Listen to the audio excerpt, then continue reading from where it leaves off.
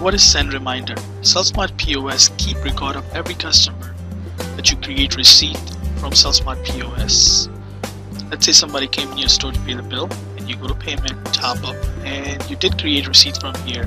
You type in the number, system will note the date, save the date of that payment that the customer made and next month will remind them saying that their bill is due and please pay your bill at ABC Wireless 1989 University Avenue with address and phone number.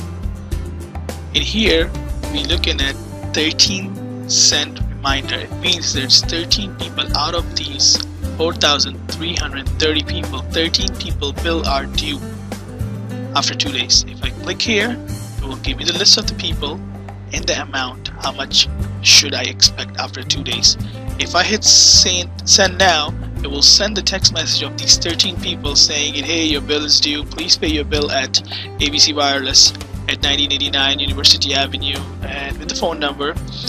If you already paid the bill, please disregard this message, something like this.